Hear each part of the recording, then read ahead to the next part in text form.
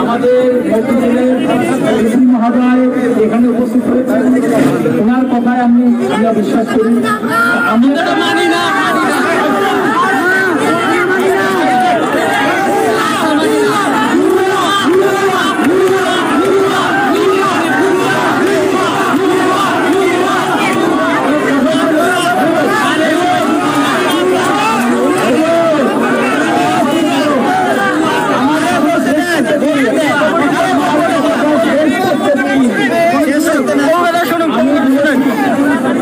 আগামীকাল দশটার মধ্যে যদি যদি উপযুক্ত দোষীকে আপনি চিহ্নিত করে শাস্তি না দেন, তাহলে আগামীকাল এখানে এগারোটি অবস্থান ধর্ম প্রিয় দর্শক, আমি শফিকুল ইসলাম এবং আপনারা দেখছেন আরামবাগ টিভি। দর্শক, আমি যে ভিডিওটা আপনাদেরকে দেখাচ্ছিলাম সেটা হচ্ছে বাংলাদেশের ঢাকার, সেখানে একটা প্রতিবাদ কর্মসূচি আজকে ছিল, ইসকন অর্গানাইজ করেছিল। সেখানে অনেকে কিন্তু অংশ নিয়েছিলেন, কিন্তু সেই প্রোগ্রাম শেষে যখন তারা ফিরছিলেন সেই সময় যেটা অভিযোগ যে বঙ্গভবন, রাষ্ট্রপতি ভবন যেটা, সেখান থেকে ইটপাটকেল ছোড়া হয় তাদের ওপরে। যখন এরকম একটা কাণ্ড ঘটলো, সেখানে কয়েকজন জখম হলেন এবং তারপরই তারা আবার ওইখানেই রাস্তার সামনে অবস্থান বিক্ষোভে বসে পড়েন। তখন আবার দেখা গেল যে পুলিশকে আসতে, পুলিশ এসে আশ্বাস দেয় যে দোষীদের চিহ্নিত করা হবে চব্বিশ ঘণ্টার মধ্যে, তাদেরকে চিহ্নিত করে ব্যবস্থা নেওয়া হবে। এইসব আশ্বাস পেয়ে আপনারা শুনছিলেন, যারা ছিলেন সেখানে ইস্কনের, তাদের তারা বললেন যে আগামীকাল দশটার মধ্যে যদি ব্যবস্থা না নেওয়া হয়, তাহলে কিন্তু আমরা আবারও কিন্তু প্রতিবাদ কর্মসূচি নেব। এখন প্রশ্ন, দর্শক, যে যে ঘটনা ঘটেছে বাংলাদেশে, যেখানে নোয়াখালীর ইস্কন মন্দিরে, যার সঙ্গে কুমিল্লার কোনো সম্পর্কই নেই, যে ঘটনা ঘটলো এবং তারপর দেশ জুড়ে যেভাবে অশান্তি হয়েছে, সংখ্যালঘুদের উপরে যে নির্যাতন হচ্ছে, তার কিন্তু একটা প্রতিবাদ কর্মসূচি হচ্ছে বিশ্বজুড়ে। আজকে এই বাংলাদেশের ঢাকাতে সেখানেও কিন্তু একটা প্রতিবাদ কর্মসূচি ছিল ইস্কনের তরফ থেকে। সেটাই হচ্ছিল শান্তিপূর্ণভাবে। কিন্তু সেটার পর তারা যখন ফিরছিলেন, সেই সময় একেবারে অতর্কিতে বলা যায় ইট পাটকেল ছোড়া। এটা কেন হবে? এটা খুবই মানে বলা যায় একটা একটা অগ্নিগড় পরিস্থিতি তৈরি হয়েছে, সেটাকে সামাল দেওয়ার চেষ্টা হচ্ছে, প্রতিবাদ কর্মসূচি হচ্ছে। সেখানে আবার নতুন করে যদি বিতর্ক তৈরি করা হয়, নতুন করে যদি ঘটনা পাকানো হয়, তাহলে কি করে এই পরিস্থিতি শান্ত হবে, এটাই সব থেকে বড় উদ্বেগের। আমি দর্শক, বিষয়টি কি ঘটেছিল, আমি সরাসরি একটু জানার চেষ্টা করব।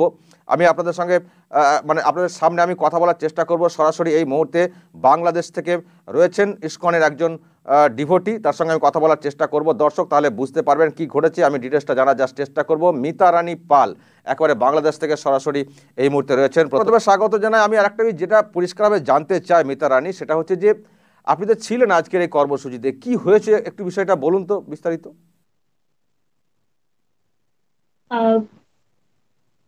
আজকে তেইশ অক্টোবর আমাদের ঢাকায় শাহবাগে সেখানে আমাদের গণ অনশন ছিল। আপনারা ইতিমধ্যে জানেন যে বাংলাদেশের বিভিন্ন স্থানে, যেমন নোয়াখালী চৌমুহনী মন্দিরে কুমিল্লাতে এবং রংপুরে বিভিন্ন নরকীয় ঘটনা ঘটেছে।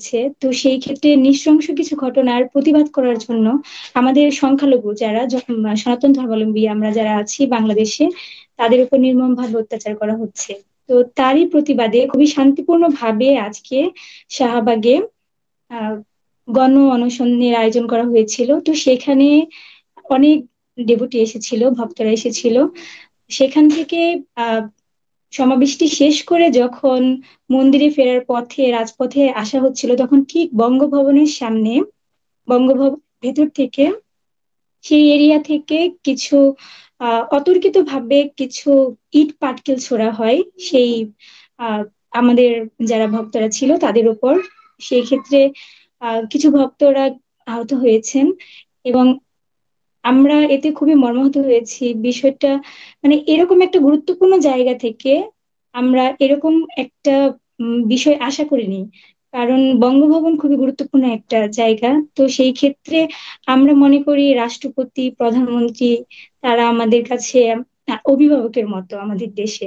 কিন্তু তাদের এখান থেকে যখন আমাদের এমন শান্তিপূর্ণ বিক্ষোভের মধ্যেও এরকম কোনো ঘটনা ঘটে তখন সত্যি আমরা মানে খুবই মর্মাহত এবার এটা তো খুব অবাকেরই বিষয় যে একটা হাই সিকিউরিটি জোন বঙ্গভবন সেখান থেকে ইট পাটকেল ছোড়া হচ্ছে ওখানে তো সাধারণ মানুষ যে কেউ তো ওখানে ঢুকতেও পারবে পারবে না কেউ। কি করে সম্ভব হলো?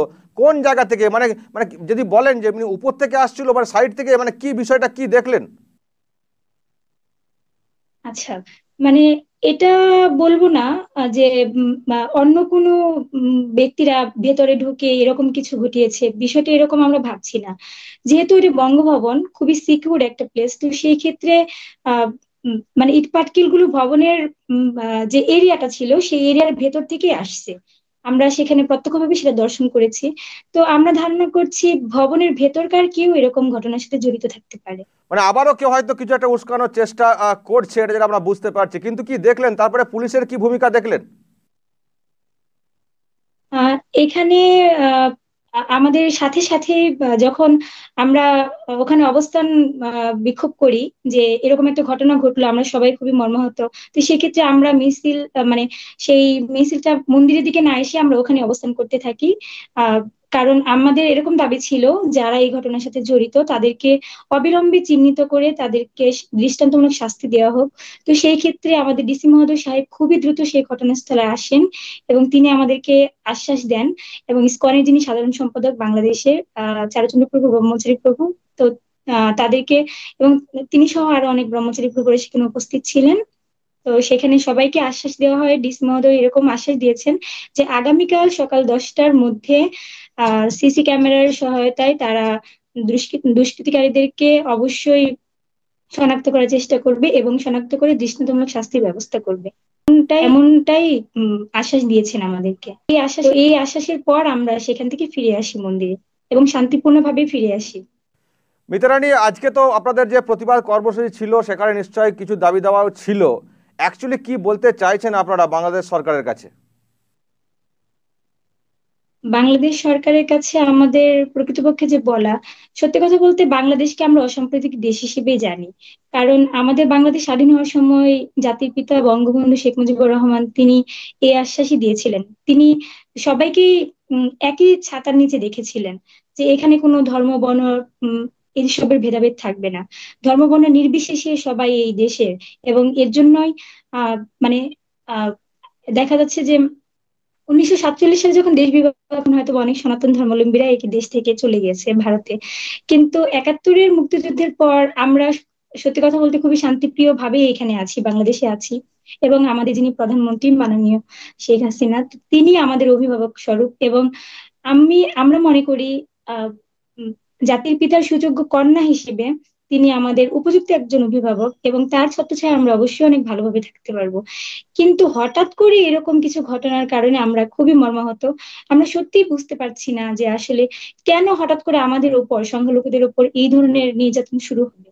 কারণ, আহ আমাদের এখানে প্রতি বছরই দুর্গাপূজা হয়। দুর্গাপূজাতে প্রশাসন থেকে বিভিন্ন পুলিশ, আনসারিদের মানে ব্যবস্থা থাকে।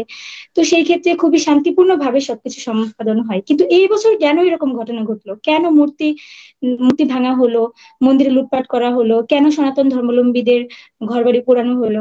এইসব ব্যাপারগুলো নিয়ে আসলে সত্যি আমরা খুবই মর্মাহত এবং আমরা এর কোনো আহ যৌক্তিকতা খুঁজে পাচ্ছি না।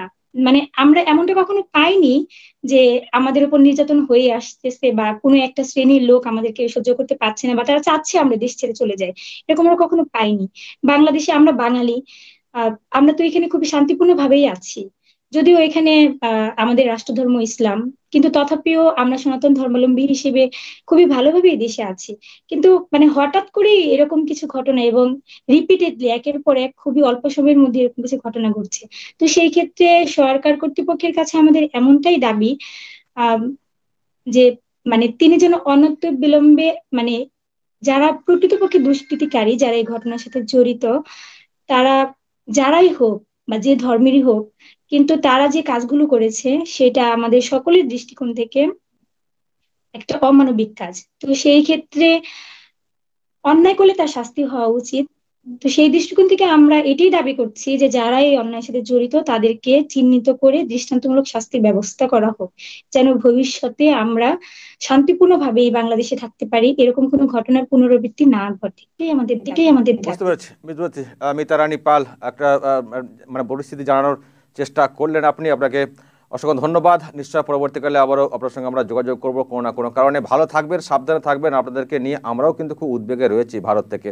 যে যে পরিস্থিতি তৈরি হয়েছে, এই পরিস্থিতি শান্ত হোক, সবাই ভালোভাবে থাকুন। কিন্তু মাঝে মধ্যে যদি আবার নতুন করে কোনো কাণ্ড ঘটে, কোথাও ঢিল ছোড়া হচ্ছে, পাটকেল ছোড়া হচ্ছে মানে উস্কানি দেওয়া হচ্ছে, আবার হয়তো কোনো একটা চক্র কাজ করছে, যদি এইভাবে চলতে থাকে, তাহলে তো পরিস্থিতি কতদিনে শান্ত হবে, উদ্বেগ তো আরও বাড়বে। অসংখ্য ধন্যবাদ। সরাসরি আমার আমার সঙ্গে একেবারে বাংলাদেশ থেকে থাকার জন্য নিশ্চয়ই আমরা পরবর্তীকালে মিত্রানী পালের সঙ্গে আমরা আবারও যোগাযোগ করব। দর্শক, শুনলেন, দেখলেন, জানলেন, কি বলবেন? নিশ্চয়ই আপনাদের কোনো কমেন্ট থাকতে পারে। কমেন্ট করবেন কমেন্ট বক্সে নজর রাখবেন আরামবাগ টিভিতে